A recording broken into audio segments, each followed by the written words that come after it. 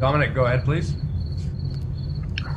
Thomas, uh, another thing you're able to hear on the broadcast with no fans is just how much you're communicating out there with your back line, especially. Just how important is, is that part of your game? Yeah, it's a huge part of my game. It's something that I've done since I was little. It helped me stand out, and it was actually one of the things that brought me to the club. Of course, I'm not running like these guys. I've got a bit more energy, a bit more time that I can tell them where to go and I can see everything. And it's not just me communicating out there. Derek, Ranko, Rusty, everyone, we're all talking. We're doing a great job, but I'm sure you can hear me um, just because I can see everything.